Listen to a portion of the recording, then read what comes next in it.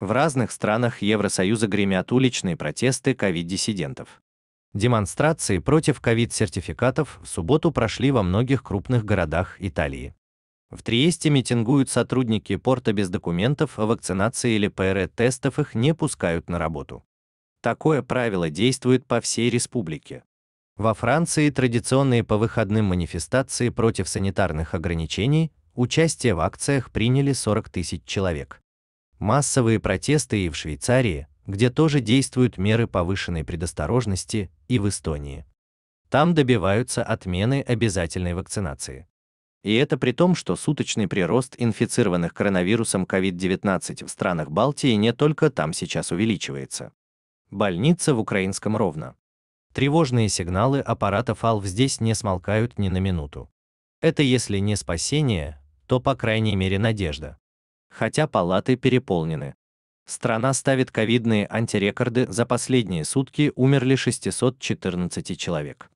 Заразились почти 24 тысячи. Такого не было за все время пандемии. Боже мой, этот коронавирус это что-то ужасное, это сущий ад говорит пациентка Евгения Грошка. Мне 73 года, у меня инвалидность, я просто не могла ходить. Я не испытывала ничего более страшного. Господи, как же это страшно. В Латвии на борьбу с коронавирусом мобилизовали даже полицию.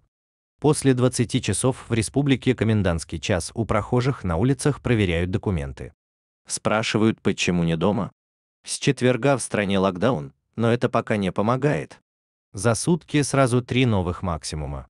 В том числе по количеству тех, кто переносит COVID-19 в тяжелой форме в реанимации на АЛФ.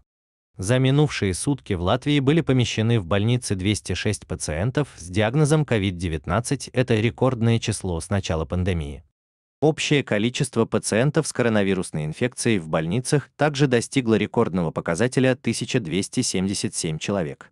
В соседней Литве, где тоже растет число госпитализаций и летальных исходов, вводят новые ограничения. В магазины на заправке, в аптеки теперь так просто не попасть. Внутри на одного человека должно приходиться не меньше 30 квадратных метров площади. Такая теперь социальная дистанция.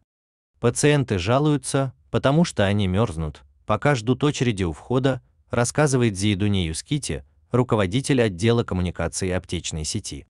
Внутри всего два фармацевта. Они постоянно звонят начальству, спрашивают, что им делать и как. Это настоящий хаос а в крупные торговые центры Литвы не пускают без документа о вакцинации. Тех же, кто пытается пройти по чужим справкам, ловит полиция. В ходе последнего рейда задержали почти 40 человек. Штраф за подлог до 5000 евро. Это безумие.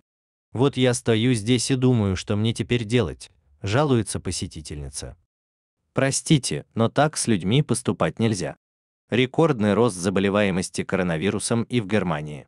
В субботу, по данным Института Роберта Коха, зафиксировано 100 случаев на 100 тысяч человек. Такого показателя не было с мая. Подавляющее большинство инфицированных не делали прививку от коронавируса, сообщает Макс Хоймерель, глава администрации Мюльдер Фамин. Многие из тех, кого доставляют в больницу, не вакцинированы. Как и значительная часть тех, кто попадает в реанимацию. Тем, кто не прошел вакцинацию, Власти соседней Австрии грозят серьезными мерами вплоть до жесткого карантина. Это в случае, если заболеваемость не снизится. Страна, как заявил новый канцлер Александр Шаленберг, балансирует на грани пандемии невакцинированных. Непривитым людям в этой стране должно быть ясно, что на их плечах лежит большая ответственность, отметил он. Ответственность не только за собственное здоровье, но и за здоровье своих близких семей коллег по работе. И как канцлер я сделаю все от меня зависящее, чтобы не допустить перегруженности всей системы здравоохранения. Потому что у нас еще слишком много людей, которые все никак не могут заставить себя пройти вакцинацию. Но если в Австрии полную вакцинацию прошли свыше 70% взрослого населения, то Румыния по этому показателю отстает более чем вдвое, там привито пока лишь 30%. Врачи уже устали убеждать пациентов сделать прививки. Полная вакцинация могла бы переломить ситуацию, уверен Адриан Маринеску, врач инфекционной больницы в Бухаресте. А самым эффективным средством сейчас был бы тотальный карантин. До крайних мер пока не дошли, но с понедельника в Румынии ужесточают ограничения. Массовые мероприятия под запретом на целый месяц. Вводится комендантский час с 10 часов вечера до 5 утра.